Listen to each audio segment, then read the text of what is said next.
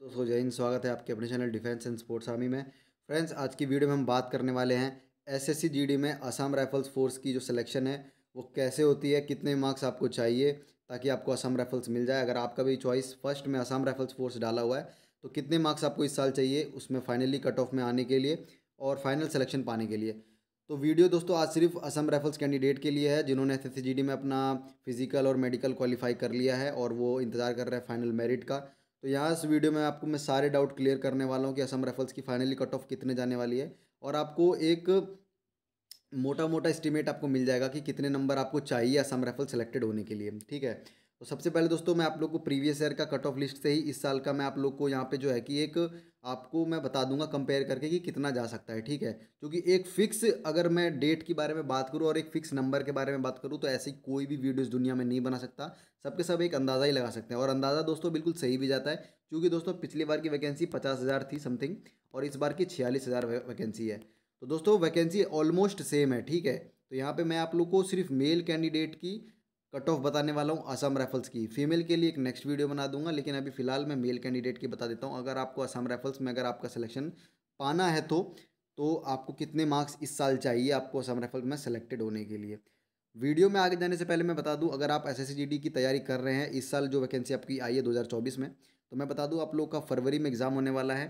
तो आप लोग के लिए बुक अगर मैं, मुझे बताना पड़े तो मैं बता दूँ कि आप लोग चक्षु पब्लिकेशन की एस एस नाम की बुक खरीद सकते हैं। बुक में आपको मिलने वाला है तीन हज़ार तीन सौ बहुविकल्पीय प्रश्न, तेरह सॉल्व पेपर बीस प्रैक्टिस सेट साथ ही साथ अस्सी क्वेश्चन पेपर का पैटर्न मिलेगा न्यू पैटर्न पर आधारित है बुक सारी।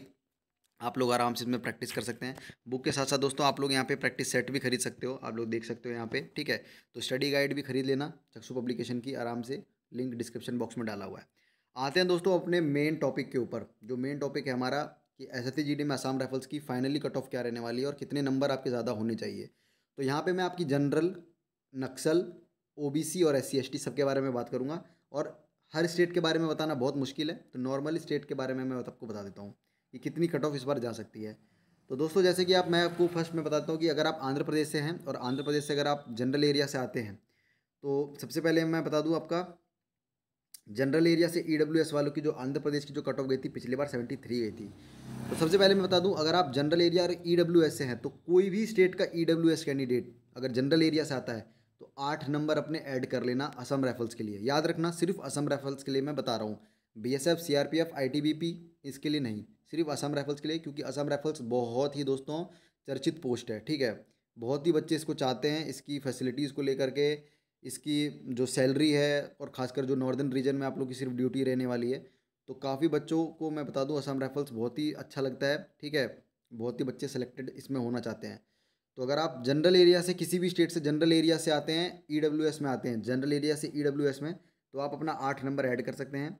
ओबीसी वाले बच्चों के लिए बता दूँ ओबीसी वाले बच्चों का कट ऑफ़ थोड़ा ऊपर जाता है तो आप वो उन बच्चों का मैं बता दूँ, उनका वो नौ नंबर ऐड कर सकते हैं। एस सी वालों के लिए सिर्फ़ पाँच नंबर ठीक है? पाँच नंबर अगर आपका पिछली बार से ज़्यादा है असम राइफल्स की कट ऑफ़ से तो आपका उसमें होने का फुल चांस है। अब बात करता हूँ यहाँ पे मैं दोस्तों, आंध्र प्रदेश का तो आंध्र प्रदेश में अगर आप असम राइफल्स, यहाँ पे आप देख सकते हो असम राइफल्स का northern S T S T है यहाँ पे दोस्तों। तो ये आपका जनरल एरिया का मैं बता दूँ आपका, जनरल एरिया का नक्सल में आपका जो आया था कि अस्सी नंबर था। तो नक्सल वालों को दोस्तों मैं बता दूँ, उनका पाँच से सिर्फ़ छः नंबर का ऊपर जाता है, इससे ज़्यादा नहीं जाता है। अदरवाइज़ अगर आप असम या फिर अरुणाचल से आते हैं तो अरुणाचल से दोस्तों आपको पता ही है नॉर्दर्न ईस्टर्न इलाका है तो यहाँ पे ज़्यादा आपकी कट ऑफ़ जाने वाली है नहीं, ठीक है? यहाँ पे सिंगल कट ऑफ़ लगती है। अगर आपके आसाम राइफल्स लेना है बॉर्डर एरिया से एसटी का तो थर्टी सिक्स मार्क्स गया था तो दोस्तों बॉर्डर एरिया से एसटी एक तो कम बच्चे रहते हैं, ऊपर से इनके ज़्यादा मार्क्स जाते भी नहीं हैं। और अगर आप बिहार यूपी पंजाब, हरियाणा से हैं तो आपके पिछले साल से मात्र आठ नंबर से नौ नंबर ज़्यादा होने चाहिए सिर्फ़ असम राइफल्स फोर्स के लिए। तो आपको इजीली मिल जाएगा, ठीक है? किसी भी स्टेट से हो दोस्तों, आपके पिछले साल से अगर आप जनरल में थे तो आपका आठ मार्क्स ज़्यादा होना चाहिए ओबीसी में थे तो नौ मार्क्स ज़्यादा होने चाहिए पिछले साल की कट ऑफ़ से। तो आपका इजीली इसमें हो जाएगा। ऐसा नहीं है कि दस पंद्रह नंबर ज़्यादा चाहिए, ताकि आपका होगा, ऐसा बिल्कुल भी नहीं है, ठीक है? तो वीडियो अगर आपको अच्छी लगी है तो चैनल को सब्सक्राइब करना, वीडियो को लाइक कर लेना। और अगर आप अभी भी सोच रहे हैं कि कौन सी स्टेट्स है और मैंने उसके बारे में नाम नहीं लिया काफ़ी सारे स्टेट्स का तो दोस्तों, वीडियो बहुत लंबी हो चुकी है, आप लोग कमेंट कर देना कमेंट में आपको आपका जवाब मिल जाएगा। जय हिंद।